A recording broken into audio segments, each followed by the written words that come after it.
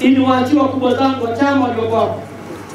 Wananchi wameninong'oneza jambo, wakasema kwa sababu wao hawajawahi kupokea mgeni waziri wa ujenzi wa aina yake, na kwa uadilifu ulionao, wazee wananena na wewe.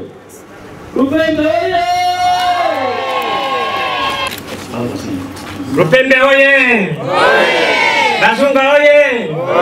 Waziri wa ujenzi oye! Mkuu wa mkoa oye! Ndugu zangu, sisi wa Lupembe kwa siku ya leo tumefurahishwa na jambo hili linaloendelea sasa, na kwamba tunapata uhakika wa kwamba hayati aliyeondoka hajaondoka kwa sababu Mama Samia anafanya kazi inayostahili. Sisi tunaamini hatujapungukiwa kitu, na haswa tunapofikia kwamba leo waziri wa ujenzi amefika Lupembe, jambo ambalo halijawahi kutokea hata miaka mingine yote ya nyuma. Naamini kwamba Mungu ana sisi, na mimi niliyesimama mbele si mimi tu, mimi ni katika wazee wa Lupembe.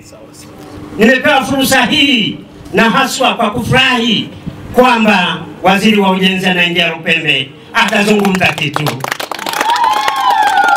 Barikiwe sana waziri. E, jambo ambalo nataka nisisitize sisi wa Lupembe, kwa yeyote aliyefanya kazi pamoja na sisi na haswa aliyekanyaga Lupembe, kama vile Bazungu umeingia leo hapa, tunasema ukarimu tunao, so hivi hivi, ukarimu ni lazima.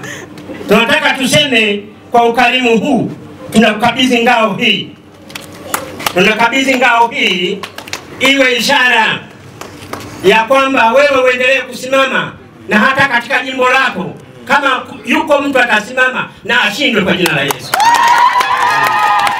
na ashindwe kwa jina la Yesu, na kwa jina la Yesu. Wazee wa Lupembe wamekupa baraka ambazo kwenye jimbo lako, kasimame tena. Hakuna mtu zaidi ya Mungu, hakuna mtu.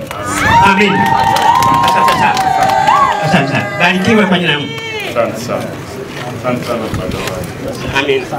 Amin. Barikiwe. Tunafuata mama. Haya, karibu. Karibu. Hapa wanakukabidhi mbuzi huyu anazaa.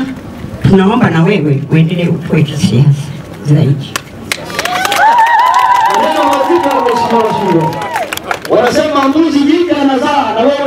Kuzaliana zaidi kisiasa.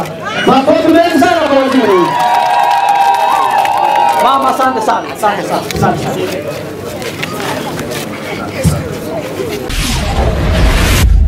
You are watching Digital News Tanzania.